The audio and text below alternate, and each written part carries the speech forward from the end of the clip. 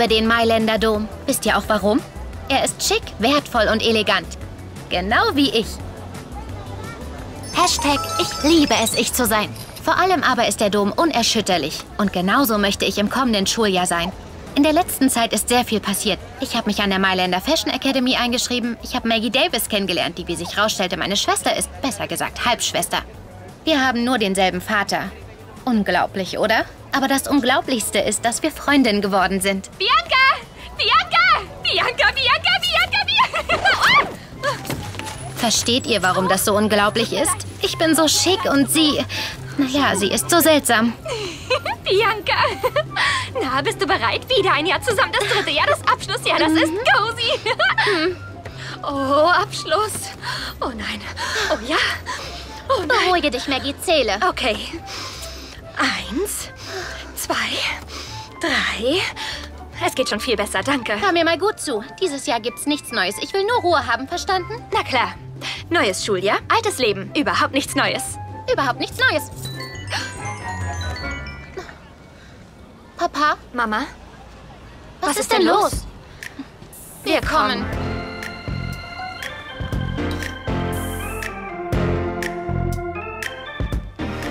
wollen Sie uns bloß sagen? Alarmstufe Rot. Sie sind sich viel zu nah. Da sind Sie ja. Hey, Hallo, Bianca. Seid ihr ja? Hallo, komm her. Das reicht, Rachel. Ja, okay. Es liegt schon viel zu viel Liebe in der Luft, wenn du mich fragst. Wo sind die 23 Koffer mit dem unentbehrlich Allernötigsten fürs Schuljahr? Die wirst du nicht brauchen. Was soll das heißen? Heute fängt die Schule an. Na los, setzt euch bitte hin. Mädels, dieser Sommer war für uns eine wirklich sehr wichtige Zeit, müsst ihr wissen. Maggie war bei Alberto, bei Lucy Style Ich habe da ein Praktikum gemacht. Und sicher kein Vergnügungsurlaub. Klar doch. Und Bianca war bei mir in Portland, um in die Welt der Musik einzutauchen. Und wir haben uns ja gut miteinander verstanden. Ja. Außerdem haben wir begriffen, das Einzige, das etwas wert ist, ist die Familie. Welche Familie? Na, unsere. Wir möchten, dass wir alle zusammenleben. Echt jetzt? Ja, wir müssen irgendwie die verlorene Zeit nachholen, da neu anfangen, wo alles einmal begonnen hat. In Portland. In Portland? Wir sind wunderbar aufgehoben in der Akademie. Und sowieso sind Mode und Musik Teil unseres Lebens. Wir wollen ja auch überhaupt nicht, dass ihr darauf verzichten müsst. In Portland gibt es eine Das ausgezeichnete... machen wir nicht mit. Aber Kinder, ihr seid noch jung. Ihr müsst denen vertrauen, die schon Erfahrung haben. Nein. Na gut, wenn ihr uns in dieser Angelegenheit keine andere Wahl lassen wollt.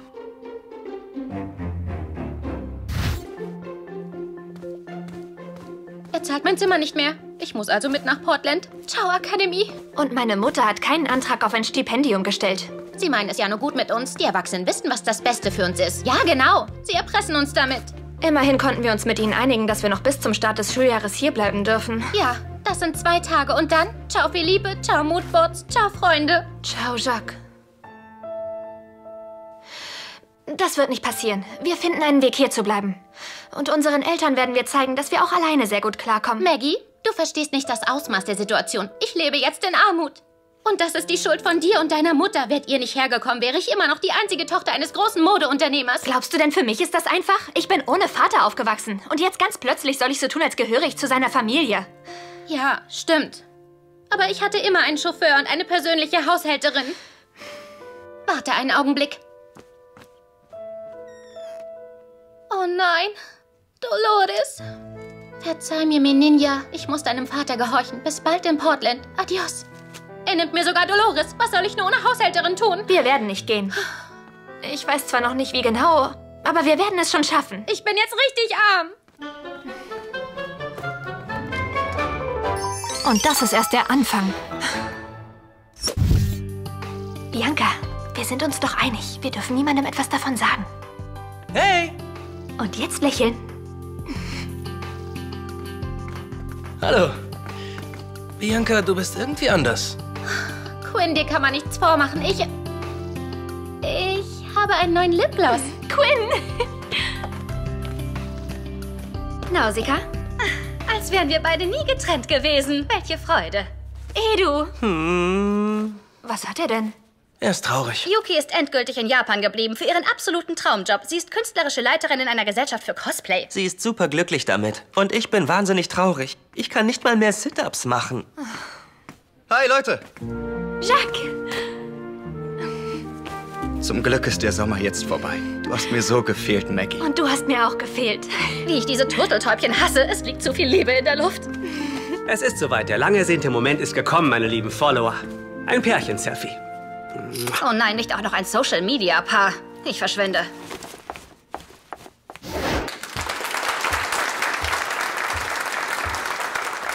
Liebe Schüler, willkommen an der Mailänder Fashion Academy. In diesem Jahr möchte ich euch mit einer großen Neuigkeit begrüßen. Wieder eine Neuigkeit. Perfekt. Ich kann leider nicht mehr länger euer Direktor hier sein. Ich muss die neue Schulordnung schreiben, nämlich die Schulordnung 2.0. Ja, nennen Sie doch einen Vizedirektor. Der kann Ihnen dabei helfen, die Schule zu leiten, während Sie sich der Schulordnung 2.0 widmen. Wir werden Ihre Stellvertreterin. Bianca, was tust du da? Maggie, denk mal nach. Als Stellvertreterin müssen wir natürlich hier in der Akademie sein. Und deshalb, oh wie schade, wir können ja gar nicht mit nach Portland. Wir müssen leider hier bleiben. Du bist so schlau, meine kleine Oberzicke. Aber es gab nie einen stellvertretenden Direktor unter 30 Jahren.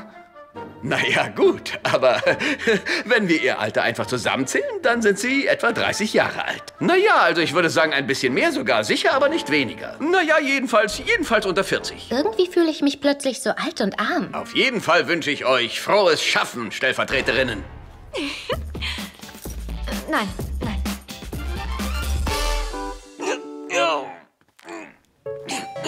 Nein, keine Chance. Ich bin leider einfach nicht mehr der Alte.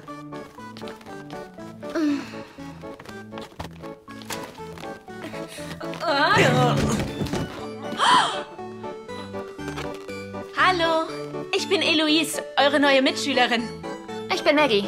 Bianca, Gute Idee, eine auf 0 Grad gekühlte Flüssigkeit zu verwenden, deren Moleküle untereinander hexagonal angeordnet sind. eigentlich ist das nur Eis. Was habe ich denn gesagt? Entschuldigt wegen eben. Ich habe meine neueste Erfindung ausprobiert. Der neue Catwalk-Schutz. Wozu soll der gut sein? Das ist eine Luftblase, die den Schwerpunkt des Models ausgleicht und dabei hilft, nicht vom Laufsteg zu fallen. Und sollte jemand doch einmal böse stolpern, dann wird der Sturz immerhin abgedämpft. Vom Laufsteg herunterzufallen ist der Albtraum aller Models. Du bist echt schlau. Und auch gefährlich. Aber freut mich, ich bin Edu. Und erst Franz, mein Freund das Neuron. Man sieht ihn nicht, aber er ist da. Das musst du uns aber erst mal beweisen. Ich bin Nausicaa. Es ist eine Ehre, mich kennenzulernen. Jacques, Hallo. Quinn. Ich bin Philippe aus dem zweiten Jahr. Wie hast du es bloß geschafft, dich direkt zum dritten Jahr einzuschreiben? Ich war schon zwei Jahre lang auf einer anderen Schule, die ich aber dann verlassen musste, weil es dort einen kleinen Zwischenfall gegeben hatte. Was für ein kleiner Zwischenfall. Sie meinten, die Explosion, die das Labor zerstört hat, entstand durch mein letztes kleines Chemieexperiment. Du kennst dich also mit Chemie aus? Nein, aber ich lerne gerne durch Experimente. Und natürlich mag ich auch Modedesign. Eine verrückte Wissenschaftlerdesignerin, das hat uns noch gefehlt. Ich bin Onkel Max, Inhaber von diesem schicken Laden und wohl der einzige Normalo in diesem Irrenhaus hier. Freut mich sehr. Wusstest du, dass ich an einem Milchaufschäum-Experiment gearbeitet habe? Es ist eine kleine Molekularexplosion. Ach, komm. Wollt ihr mal sehen? Rette sich, wer kann! Habe ich was Falsches gesagt? Ich weiß nicht, aber es klang sehr gefährlich. Ihr werdet es niemals hinbekommen, die Schule zu leiten. Menschen in eurem unangenehmen Alter sind nur sehr schwer unter Kontrolle zu bringen. Es tut weh, das zu sagen, aber Baby, du hast recht. Ruggiero, nenn mich bitte nicht mehr Baby. Wie oft soll ich dir das denn noch sagen? Ich liebe es, wenn du mich anschreist, Allison. Denn ich. Ich weiß, dass ich dein Favorit bin. Es ist nicht gerade einfach, einen guten Lehrplan für solche schwierigen Menschen wie euch zu erstellen. Doch, immerhin sind Stellvertreterinnen ja auch Teil dieser schwierigen Menschen. Wir wissen genau, was sie brauchen, um aufzublühen. Aufblühen? Wollt ihr sie denn etwa allen Ernstes wie kleine Samenkörner der Kreativität behandeln? Ja, ganz genau. Und genau das ist auch unser Konzept für den Lehrplan. Volle Ausdrucksfreiheit. Genau. Jeder darf Lehrfächer vorschlagen, die von den eigenen Leidenschaften inspiriert sein sollen. Die Idee ist gar nicht so übel. Aber man braucht schon wirklich jede Menge Erfahrung, damit am Ende kein Chaos ausbricht. Warum glaubt ihr Erwachsenen eigentlich nie an uns? Wir werden es euch schon zeigen. Wir werden die beste Akademie sein. Kommt mal bitte hierher, ihr beiden.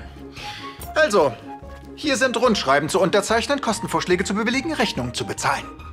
Die sind vom Direktor. Hm, viel Glück damit. Ich vertraue ja auf euch. Bianca, du weißt schon, wenn es nicht klappt, heißt es Lebe wohl Fashion Academy, oder? Nur keine Sorge, Maggie, es wird alles gut werden.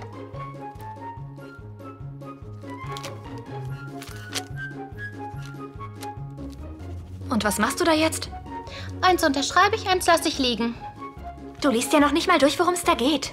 Keine Sorge, Maggie, das sind doch alles nur Formalitäten. Also bitte, was willst du denn? Die jüngsten Stellvertreterinnen der Geschichte. Ich wusste, dass alles gut geht. Sieh, mit welcher Leidenschaft sie arbeiten, mit wie viel Engagement, wie viele kreative Vorschläge kamen. Wahnsinnig kreativ. Das hier ist unser Lehrfachvorschlag für das kommende Schuljahr. Videospiele. Die wurden schon immer in den Bildungsprogrammen unterschätzt. Ja, warum nur? Wir zertrümmern alles. Bildend und konstruktiv. Im Grunde. Also ganz im Grunde. Naja, aber geben wir ihnen Zeit. Sie werden es schaffen. Nausicaa, wenigstens gibst du uns noch Grund zur Hoffnung. Bringst du den Jüngeren etwa die Konfektionstechniken bei? Nein, ich mag es einfach nur, sie für mich arbeiten zu lassen und sie dabei schlecht zu behandeln.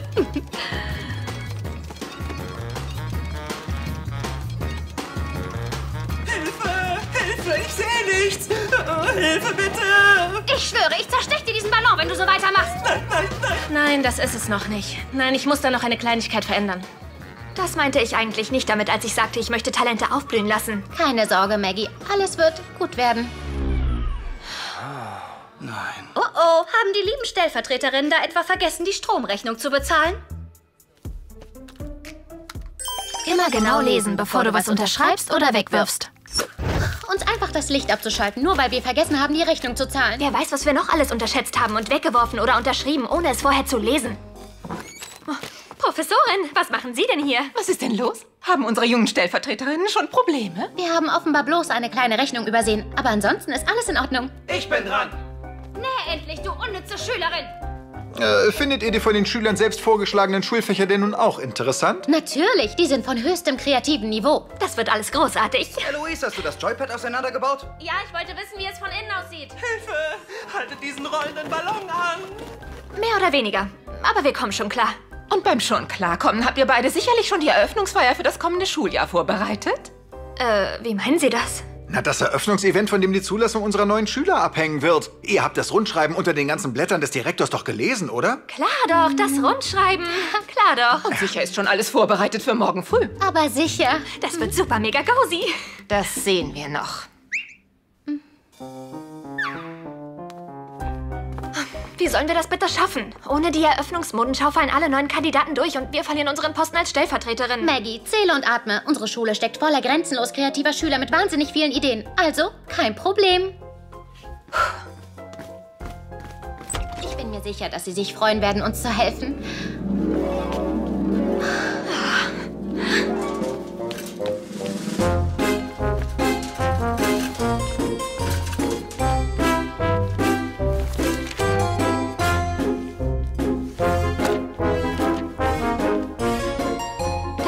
Normalen Schüler, wenn du mich fragst. Nein, wir sind kleine Arbeitselfen. Cozy, du siehst sowas von toll aus in diesen Klamotten. Außerdem bin ich nett, warmherzig und hilfsbereit. Los jetzt an die Arbeit. Hier geht alles kaputt, wenn ihr so weitermacht. Okay, ich würde sagen, wir haben ein Problem. Du hast verloren. Warte, ich bin dran. Du bist danach dran. Ich warte schon seit einer Stunde. Das interessiert mich nicht. Ab an die Arbeit, los! Eloise, mit diesem tollen Mikroskop hier sieht man alles wirklich ganz wunderbar. Das nennt man Periskop, Edu. Die Lehrer hatten tatsächlich recht. Es ist nicht einfach, eine Schule zu leiten. Wir haben völlig versagt.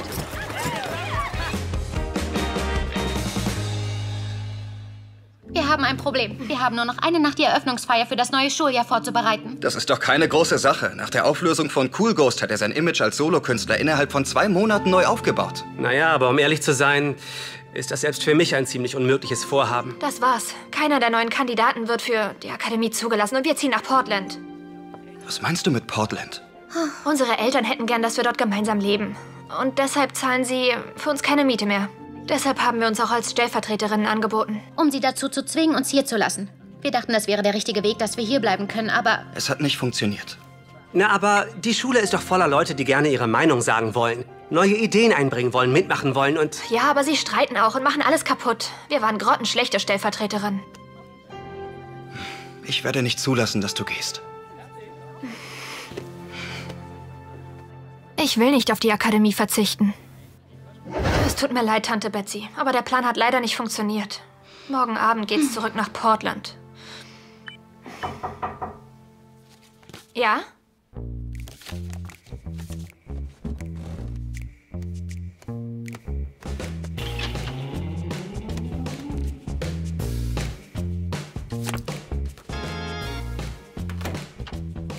Hat diese Zeichnung angefertigt?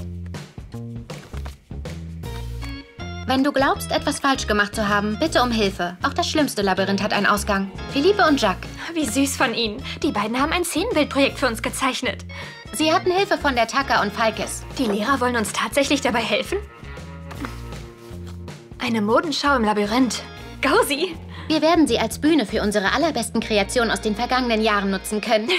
Ja, wir beide können vielleicht keine Schule leiten, aber wir können dafür alle mit einem tollen Mode-Event begeistern, keine Frage.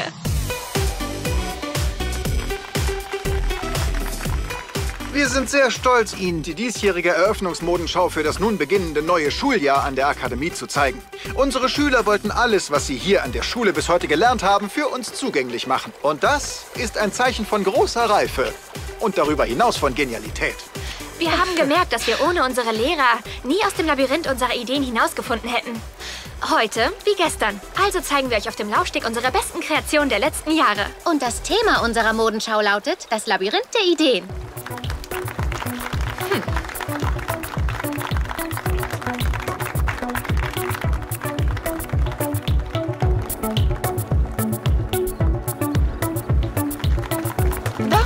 Mich erinnern. Ja, richtig.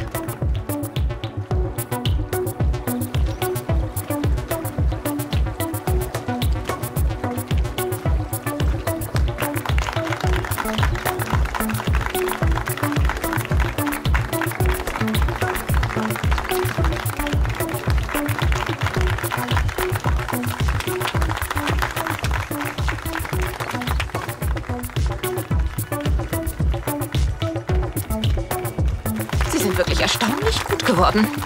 Ja.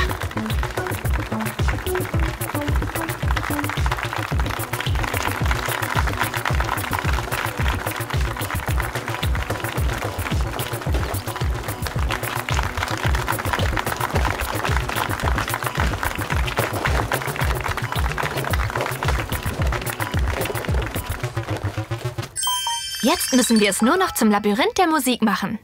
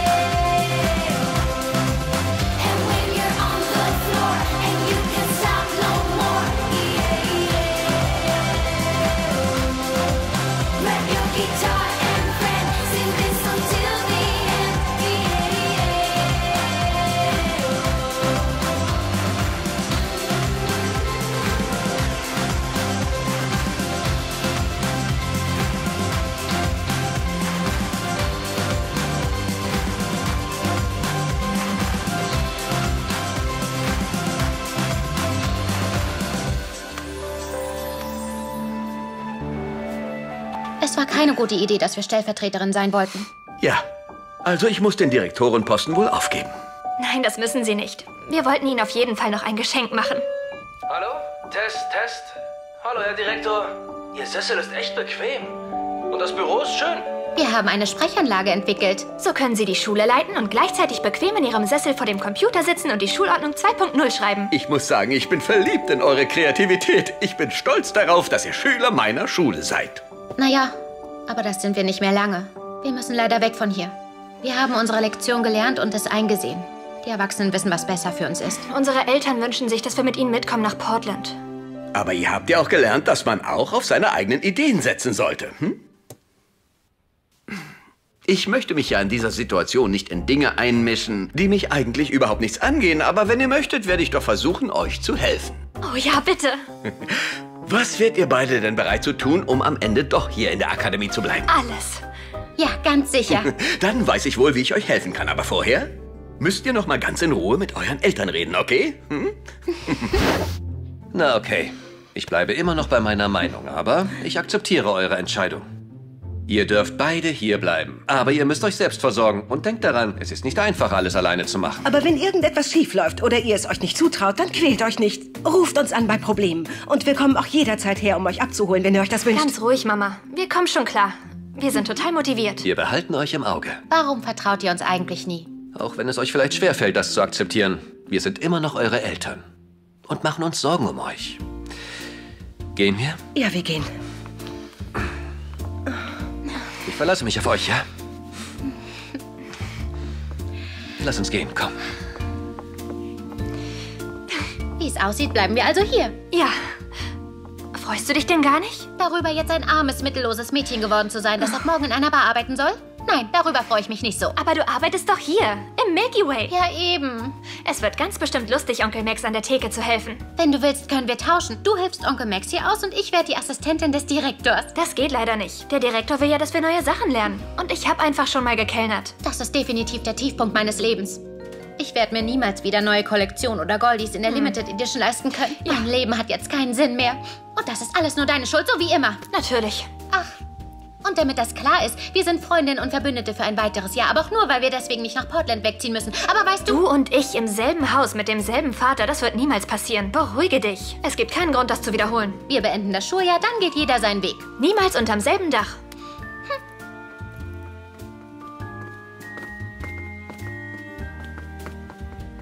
Maggie, alles in Ordnung? Danke, dass du mir geholfen hast. Ich würde alles tun, damit du hier bleibst. Hallo Leute, was macht ihr? Irgendwie habe ich den Eindruck, es geht um Eloise. Sie ist sehr sympathisch. Und sie hat es geschafft, dass ich wieder Sit-Ups machen will. Nur ihre klitzekleine Macke, alles auseinanderbauen zu wollen, könnte etwas gefährlich werden. Liebe Leute, ich habe ein elektrisches Zubehör entwickelt. Aber ich will nicht, dass der oder diejenige da drin geschmort wird. Möchtest du einen letzten Versuch machen? Ich glaube, ich werde da gerade ganz dringend gerufen. Was habe ich denn jetzt schon wieder Falsches gesagt? Ah. Hey, one and two, take a walk in my shoes and see how it feels.